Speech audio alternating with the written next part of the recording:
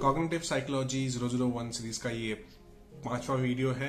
Let us discuss today topic which is Atkinson and Shiffrin model hello I am Amitabh Karmakar I am the founder of Amitabh Psychology so Atkinson Shiffrin model में there are three stages number one sensory number two short term and number three long term sensory memory stage में there are three things one is purpose duration and capacity similarly short term memory stage में purpose duration capacity long term memory stage में purpose duration capacity let is understand one by one okay so purpose of sensory memory stage इनका काम है कि information को hold करना।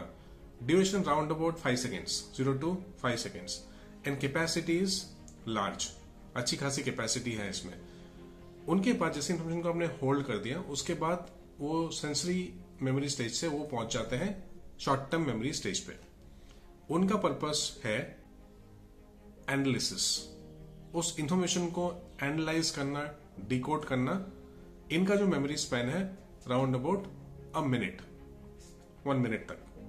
And इनका जो capacity is very much limited long term तक यहाँ पे रहता नहीं है।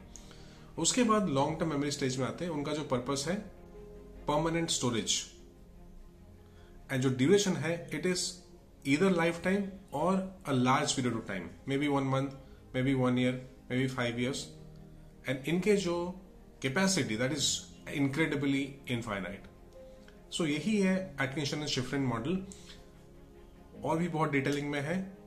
इतना खाली पढ़ने से नहीं होगा. आप अच्छे से बुक्स पढ़िए या फिर हमारे रिकॉर्डेड लेक्चर्स भी आप कहीं ना कहीं ले सकते हैं.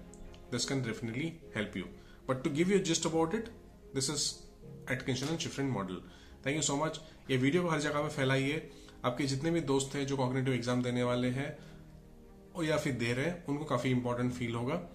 Thank you so much for watching see you next video bye